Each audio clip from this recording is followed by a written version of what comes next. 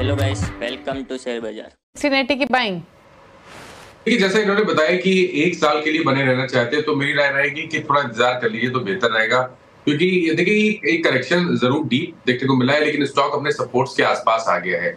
मेरे ख्याल से यहाँ पर अगर एक साल का टाइम फ्रेम है तो 1540 के स्टॉप लॉस से पोजीशन को होल्ड करना चाहिए। उम्मीद कर सकते हैं कि जब रिकवरी देखने को मिले और एक बार स्टॉक 1750 के ऊपर निकल गया तो आपको कम से कम 400 से 500 पॉइंट की तेज़ी देखने को मिल सकती है।